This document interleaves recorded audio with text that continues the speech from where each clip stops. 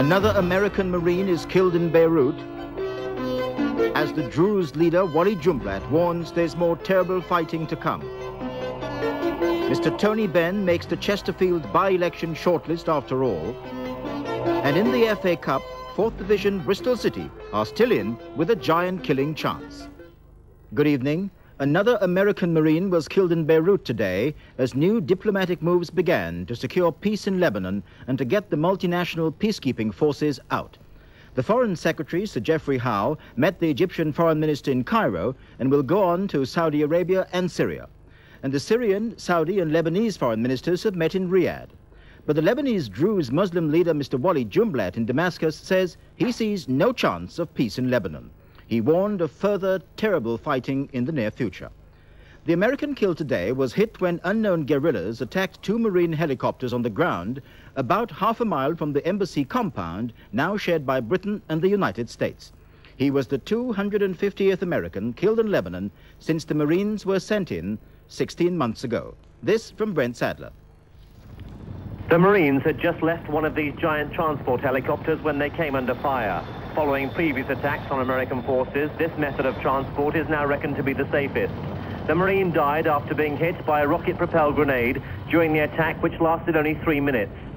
With the military situation still tense in and around Beirut, Lebanese intelligence sources are aware that the shooting will only make matters worse. The killing comes at a time when the Lebanese government is struggling to reach agreement with the warring factions over a new security plan which could end the fighting.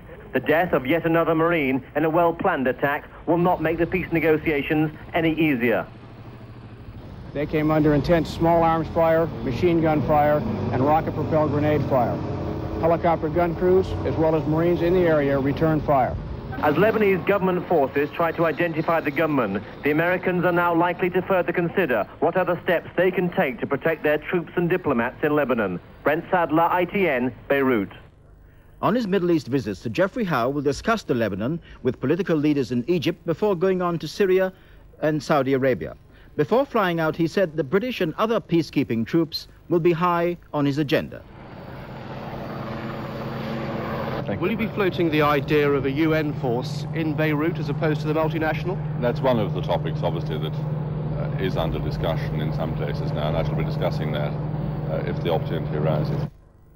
The Saudi, Syrian and Lebanese foreign ministers talked for more than three hours in Riyadh today about the sticking points which have so far stopped a Saudi-inspired peace plan for Lebanon being accepted. The plan would give President Gemayel's army control of some areas now held by Christian or Muslim militias. The Druze leader, Mr. Jumblatt, in the Syrian capital, claimed President Gemayel and his Christian phalangist allies won't accept it because he said they didn't want peace they have other intentions. They are strengthening their army, getting more arms, more supplies, and I'm expecting further fighting, further violent fighting, terrible fighting in the near future. They want to control certain areas in West Beirut, Shiite areas, and in the mountain, basically the Druze areas. They want to control these areas by force. I mean, Gemayel will not accept any challenge to his so-called authority any opposition to his authority, be it Walid Jumblatt or Nabih Berri or Karami or Frangieh. Mr. Jumblatt, do you hold out any hope for any agreement anytime soon? I have to hope, but I'm a little bit skeptical about achieving any solution with the Gemayel administration. So what happens now? Or again, somebody is to lose, somebody is to win. We'll see. Back at home, Mr. Tony Benn has, after all, been added to the shortlist of Labour candidates for the Chesterfield by-election. He says he's very proud. Mr. Benn was put on the list this afternoon by the local Labour committee. They overturned yesterday's surprise decision by the local executive to exclude him. 116 members of the Chesterfield Labour Management Committee turned up today to review the executive's shortlist of five. At a news conference afterwards, it was revealed that over half voted to amend it and add Mr. Benn's name. The decision may have been swayed by the miners, who had more than 20 delegates present. Didn't surprise me or not surprise me. He could have said, did it surprise me that Paul Warren wasn't added or that um, someone else wasn't added. No, it just went through the proper procedure and his name wasn't added on Friday. It's been added today, and that's the proper procedure of the Labour Party. So, a total of six names go forward to next Sunday's meeting of the Management Committee when the candidate will be chosen. Mr. Benn, with the leading number of nominations, must remain a front runner. But there is a feeling in Chesterfield that a local candidate should go forward, and with four such names to choose from, that must remain a possibility. Michael Macmillan, ITN, Chesterfield. A visit to the United States by the Chinese Prime Minister has started a battle of words between China and the Russians about a threat of nuclear war. As Premier Zhao Ziyang set foot on American soil in Hawaii, the Chinese People's Daily commented, no sooner had the United States started to position its Pershing and cruise missiles than the Soviet Union announced it would place more new missiles in Eastern Europe.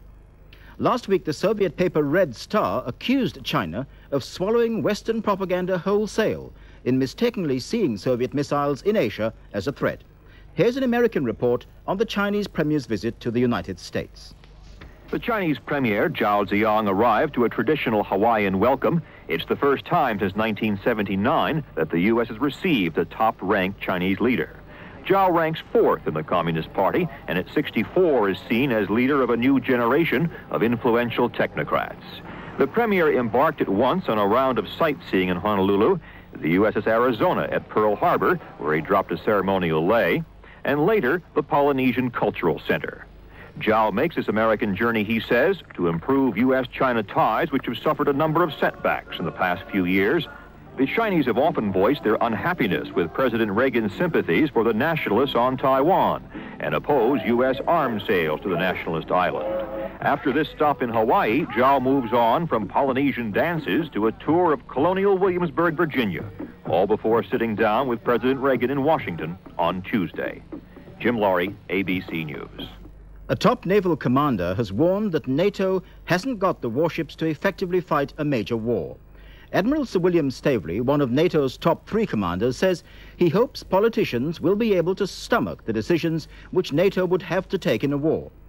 Admiral Staveley says he has only half the number of frigates and destroyers needed to guard convoys because NATO countries are cutting back their fleets or sending them to distant destinations like the Falklands. In war, they need to protect convoys carrying tanks, guns and ammunition from the United States to Western Europe. On mine layers, he says the position's even worse, with only enough to cover the very basic, absolutely minimum essentials. They're now concentrated only on protecting the Holy Loch and Faslane nuclear submarine bases in Scotland and the ports which Convoy would use in, an, in the event of a war. Admiral Staveley, in an interview with Jane's Defense Weekly, also warns that while the West's cutting back, the Russians are building what he calls very upmarket replacements for their fleet. Eleven Red Cross workers in Uganda are reported to have been abducted by guerrillas. They were last seen being led by four armed men into the bush about 40 miles west of Kampala. British Red Cross workers have been working in the area, but it's not known whether any Britons were among those kidnapped. The South Africans say they have begun withdrawing their forces from southern Angola following the battle in which they say their troops killed more than 300 guerrilla fighters. They say their offensive from Namibia into Angola has successfully disrupted SWAPO operations, and more than a thousand guerrillas have fled north. For the second day running, rebel miners who are defying their union's overtime ban have been turned back by pickets at Staffordshire pits. Nine men failed to get into work today. 43 winders who control the lift cages say they'll stage a 24-hour strike tomorrow in protest of the union's overtime ban. It'll mean 8,000 Staffordshire miners idle tomorrow. A rugby league match between Oldham and Leigh was stopped by the referee today when players started fighting on the pitch. It happened after two players were sent off for swinging punches. Both sets of forwards started brawling in the scrum, and a policeman had to come on to separate the two teams. Leigh had been leading by 26 points to 14 when the game was stopped in the second half. Soccer and the 4th Division club Bristol City are still in with a chance in the FA Cup.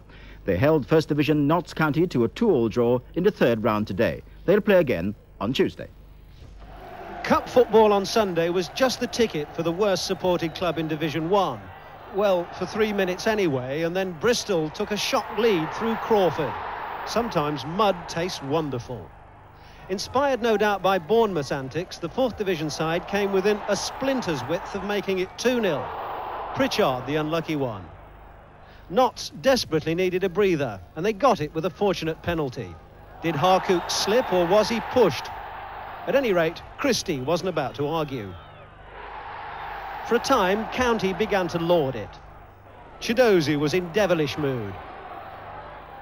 Harcourt got the touch, and Christie was there again. Now would Bristol lie down and surrender? Not likely, though their equaliser was, to say the very least, controversial.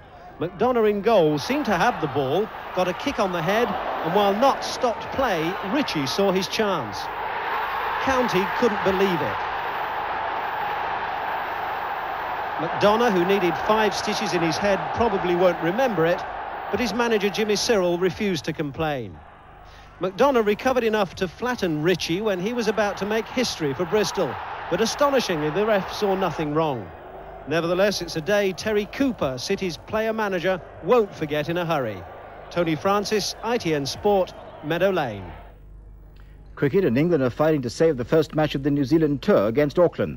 In the second innings, they're 105 for 4, only 42 runs ahead.